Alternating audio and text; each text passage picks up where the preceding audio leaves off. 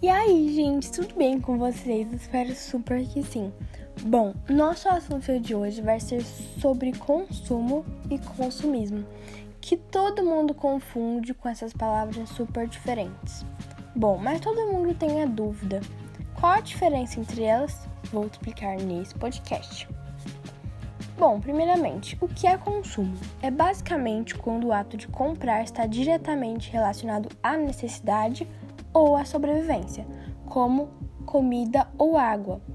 Essa é uma necessidade imediata.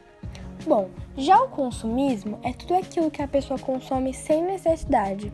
Ela compra porque acha que precisa, mas na verdade não vai ter utilidade nenhuma.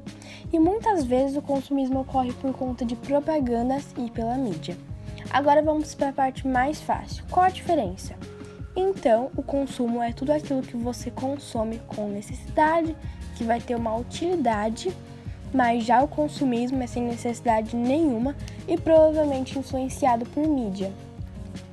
Então é isso, gente. Espero super que vocês tenham entendido qual a diferença que todo mundo confunde dessas duas palavras super parecidas, mas são totalmente diferentes. E é isso, gente. Se vocês tiverem mais alguma dúvida, deixem aí nos comentários ideias para eu gravar mais podcast para vocês, tá bom?